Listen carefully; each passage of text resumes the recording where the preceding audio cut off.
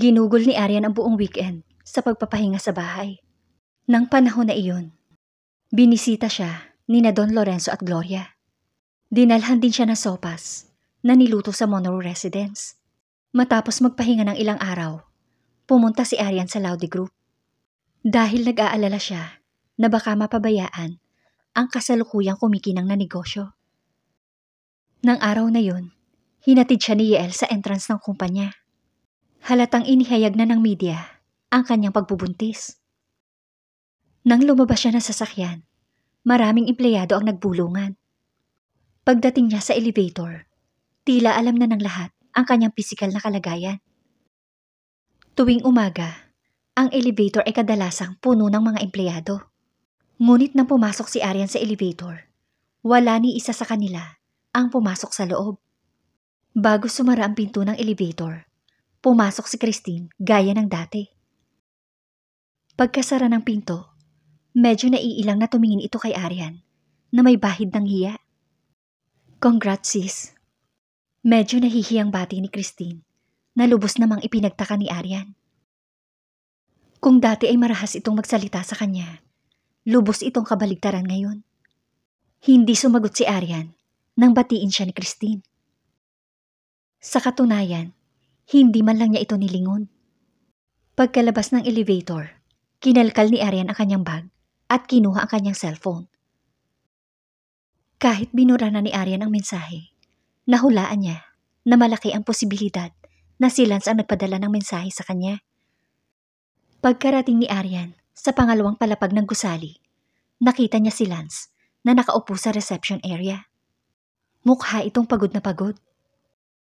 Nang makita si Arian papasok sa kwarto, ay agad itong tumayo at naglakad palapit na may kaakibat na pag-asa sa mga mata. Arian, nakakunot ang noo na napaatras si Arian. Nang makita ni Lance ang defensive body language ni Arian, sumilay ang pait sa kanyang mga mata. Akala ko hindi mo ako makikita. Humihingal na sabi ni Lance. Ayoko na talagang makita ka. Diretsyong sagot ni Arian. Kung hindi dahil sa paglapit nito sa kanya, wala siyang balak na pansinin ito. Sa susunod, huwag mo na akong tatawagan o padalhan ng anumang mensahe. Ayaw niyang malaman ang eksaktong nangyari sa nakaraan dahil gusto na niya ang kasalukuyan niyang buhay. Mahal niya si Yael at ang pamilya nito at ayaw niyang may makasira dito.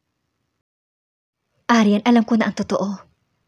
Wala kang pananagutan sa pagkalaglag ng bata na ipinagbubuntis ni Paula noon.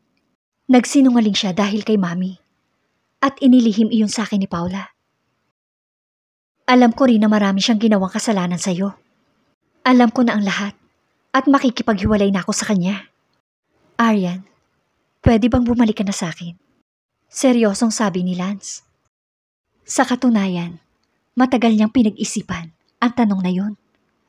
Ang buong kaganapan ay maduming ginampanan ng kanyang ina na naging sanhi ng kanyang pagsisisi sa hiwalayan nila ni Arian. Seryoso si Lance sa paghiling kay Arian na balikan siya. Kahit alam niyang ipinagbubuntis nito ang anak nila ni Yael. Habang pinagmamasdan ni Lance ang kanyang tiyan, naging mas komplikado ang ekspresyon nito. Alam kong may nararamdaman ka pa rin sa akin. Kasalanan ko ang lahat. Arian, handa akong pumawi sa iyo. Puno ng pagod ang mahinang boses ni Lance. Lumitaw ang sarkastikong ngiti sa mukha ni Arian nang marinig ang sinabi ni Lance. I'm sorry. Wala sa plano ko na bumalik sa iyo. Kaya huwag mo na akong guluhin.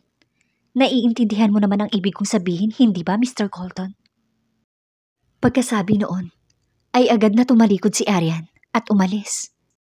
Agad na nagbago ang ekspresyon ng mukha ni Lance nang tumalikod si Arian at mabilis niyang hinila ang kamay nito pabalik.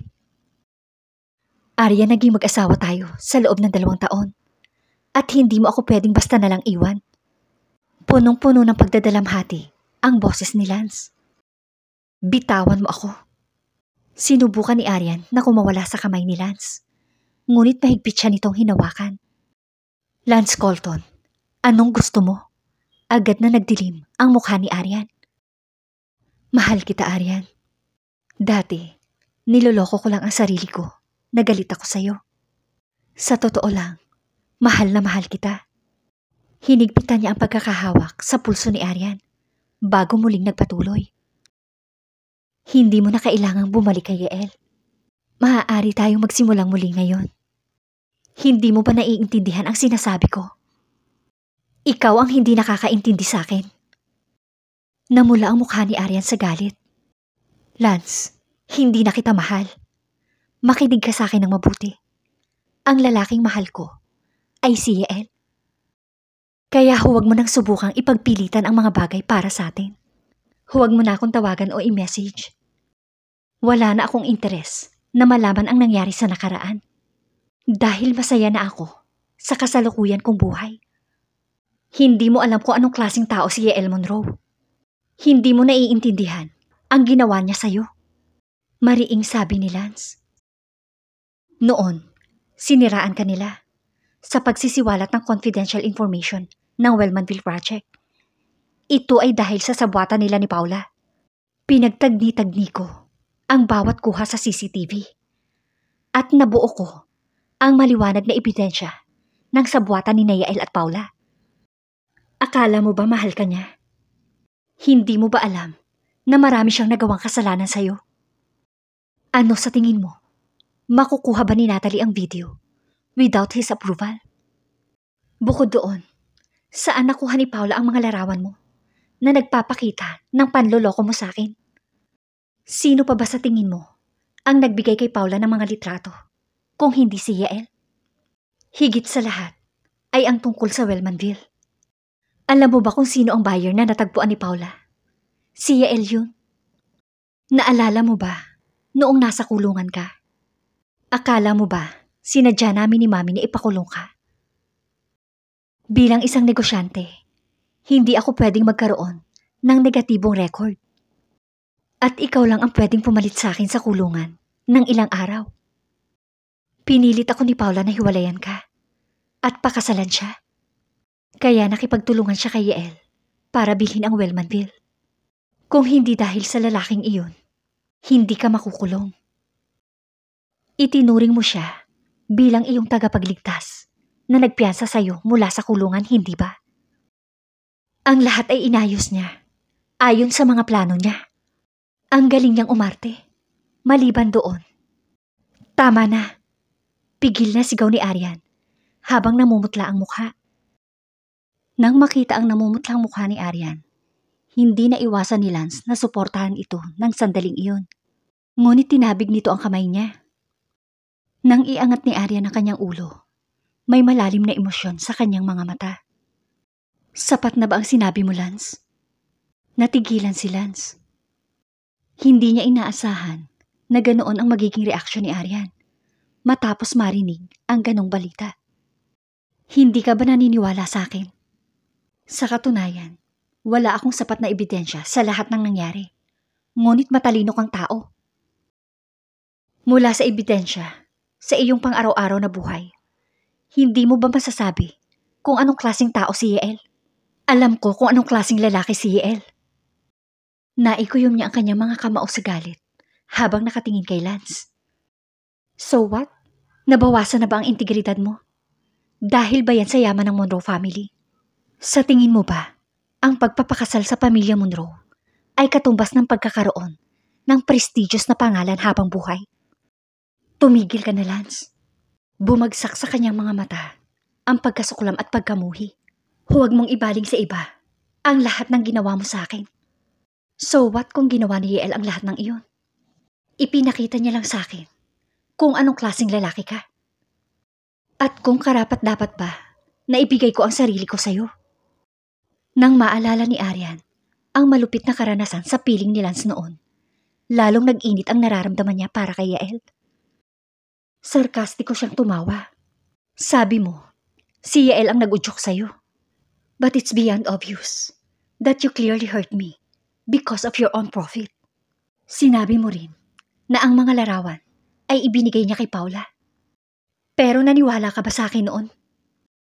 Sinabi mo rin na siya ang nagsiwalat ng confidential na impormasyon ng Wellmanville. Pero ikaw ang nagpumilit na ako ang may kasalanan. Sa meeting room ng Monroe Corp, umupo si Yael sa kanyang upuan. Nakatukod ang kanyang kamay sa kanyang noo habang nakikinig sa ulat ng kanyang mga empleyado. Isang malamig na hangin ang sumalubong sa opisina habang ang lahat ay nakatuon sa kanilang mga trabaho. Biglang nabasag ng mga katok sa pinto ang tensyonadong kapaligiran. Bahagyang napaawang ang labi ni Yael nang bumukas ang pinto ng meeting room. Seryoso ang mukha ni Larry nang pumasok sa silid. Naunawaan niya ng buo na naantala niya ang pagpupulong. Kaya mabilis siyang humingi ng paumanhin.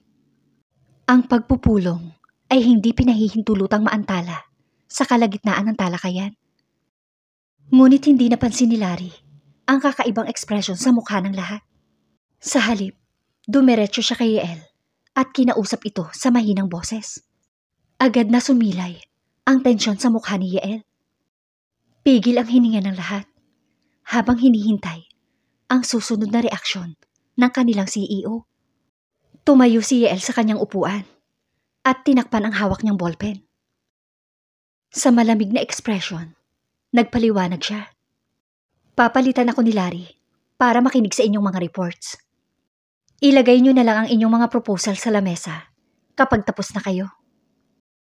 Pagkasabi noon, lumabas siya palabas ng meeting room na may malalaking hakbang. Pagkasara ng pinto, tumingin ang ibang mga empleyado kay Larry at tahimik na nagtanong. May nangyari ba kay Mr. Monroe? Nagkunwari si Larry na hindi niya narinig ang mga ito.